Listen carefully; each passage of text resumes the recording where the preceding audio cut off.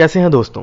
I hope you good and fine आज की video में बात करेंगे डिवोर्स के कितने केसेस जो हैं इतने ज़्यादा बढ़ते क्यों चले जा रहे हैं? आज 2021 हो गया है।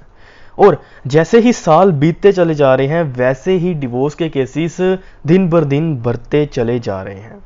इसका कारण क्या हो सकता है? क्या लोग अपने रिश्ते को कंटिन्यू नहीं करना चाहते? कारण क्या होगा? आज मैं आपको सारे कारण आज की वीडियो में मैं आपको बताने वाला हूँ। अगर आपने अभी तक हमारे चैनल को सब्सक्राइब नहीं करा सो प्लीज़ कर लें और बेल आइकन भी दबा दें ताकि जब भी मैं कोई वीडियो लेकर आऊँ, आपके पास नोटिफिकेशन आए, उसको देखो। आपकी सारी प्रॉब्लम्स इसी चैनल पर क्लियर होंगी। इस चैनल को सब्सक्राइब ज़रूर करें। चलिए स्टार्ट करते हैं आज की वीडियो बिना किसी देरी से।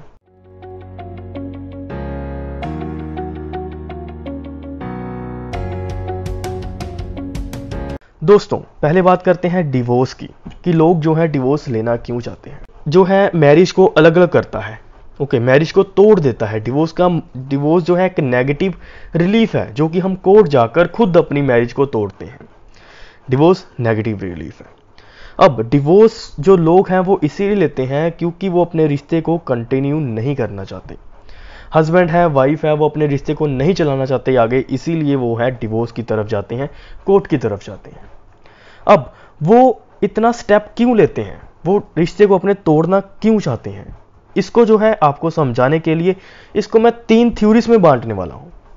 तीन भागों में बांटने वाला हूँ। ओके सबसे पहली थ्योरी है guilt theory guilt theory guilt का मतलब होता है किसी एक का दोष होता है। ओके गिल्ट थ्योरी में हम बात करेंगे, किसी एक का दोष होगा, किसी एक की गलती होगी, जिस वजह से जो है दूसरा जो स्पाउस होता है, दूसरा व्यक्ति जो होता है, वो हस्बैंड भी हो सकता है वाइफ भी हो सकती है, वो कोर्ट की तरफ़ जाता है डिवोर्स लेने के लिए। अब गलती कैसे हो सकती है? सबसे पहला कारण हो सकता है कि चाहे वो हस्बैंड हो, चाहे वो वाइफ हो, वो बाहर संबंध बनाने की कोशिश करते हैं। वो अपने वो अपने रिश्ते से बाहर जाकर कहीं और रिश्ता बनाने की कोशिश करते हैं।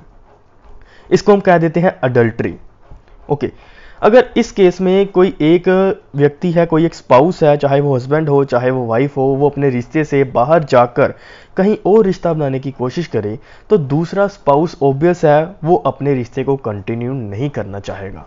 वो उससे डिवोर्स लेना चाहेगा। अगर वो वहाँ पर खुश है तो मैं इससे डिवोर्स लेना चाहता हूँ।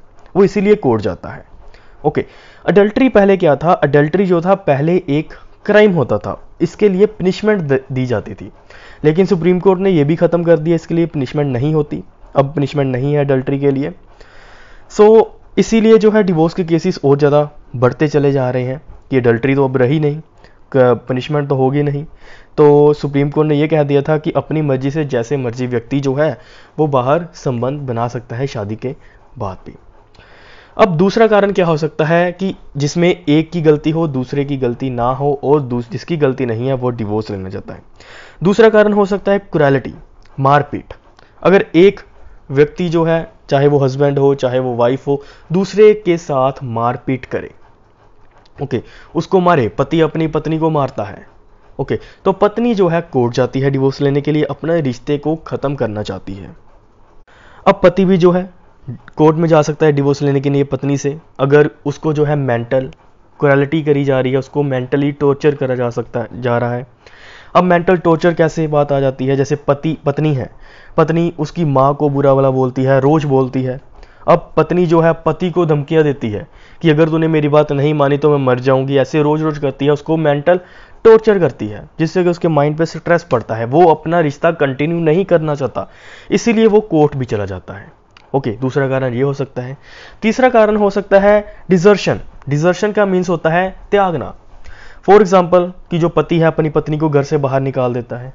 ओके okay, या फिर पत्नी जो है अपने पति का घर छोड़ के चली जाती है विदाउट एनी रीज़न ओके तो और क्या हो सकता है? और हो सकता है पति जो है पत्नी के साथ नहीं रहना चाहता।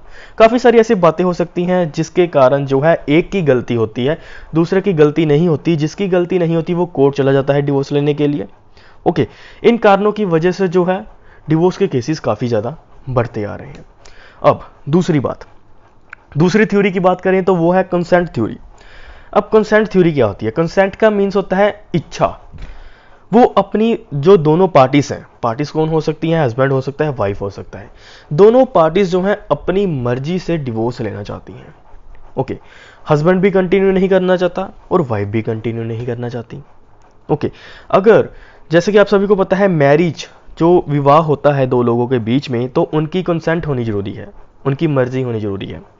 तो अगर वो जो है इकट्ठे हो सकते हैं अपनी मर्ज़ी से तो वो अलग भी अपनी मर्ज़ी से हो सकती हैं। ये हमारा कानून कहता है। अब कंसेंट थ्योरी में क्या है? कि वो जो दो हस्बैंड और वाइफ है, अगर वो चाहते हैं, दोनों ही चाहते हैं कि हम अपना रिश्ता कंटिन्यू नहीं करना चाहते तो वो जो है अलग हो सकते हैं डिवोर्स का केस लगा सकते हैं म्यूचुअल कंसेंट डिवोर्स जो है, ले सकते हैं। ओके अब हमारे जो कानून है, Hindu marriage act special marriage act या फिर मुस्लिम लॉ हो, सब में कंसेंट म्यूचुअल कंसेंट का ऑप्शन ज़रूर है कि दोनों आपसी सहमति से जो है अलग हो सकते हैं। हमारा कानून इसको नहीं रोकता कि अगर दोनों जो है दोनों हस्बैंड एंड वाइफ अलग होना चाहते हैं डिवोर्स लेना चाहते हैं तो उसको नहीं रोका जा सकता। वो अपनी मर्ज़ी से जो है अलग हो सकते हैं। अब तीसरी थ्योरी की बात करते हैं, जिसका नाम है इरेटेबल ब्रेकडाउन ऑफ़ मैरिज अब इस थ्योरी में क्या होता है? इस थ्योरी में होता है जो कपल्स हैं हस्बैंड एंड वाइफ है, वो पहले तो शादी कर लेते हैं। लेकिन शादी के बाद उनको लगता है कि वो अल, आ, वो इकट्ठे नहीं रह सकते। काफ़ी सारे कारण हो सकते हैं इकट्ठे ना रहने के कि उनकी दोनों की सोच नहीं मिलती उनके विचार नहीं मिलते। कोई ईस्ट की तरफ़ है कोई वेस्ट की तरफ़ जा रहा है ओके कोई और कुछ और करना चाहता है कोई कुछ और करना चाहता है तो इस कारण में भी जो है वो अपनी मैरिज को आगे तक नहीं लेकर जा सकते। मैरिज को कंटिन्यू करने के लिए क्या होता है? मैरिज को कंटिन्यू लगातार चलाए रखने के लिए क्या होता है? दोनों को एडजस्ट करना पड़ता है। ओके अगर उनमें से एक भी व्यक्ति जो है एडजस्ट नहीं करता ओके दूसरा व्यक्ति एडजस्ट नहीं करता तो दूसरा व्यक्ति कब तक एडजस्ट कर लेगा? कब तक जो है उसको आगे खींचता चला जाएगा अपनी मैरिज को?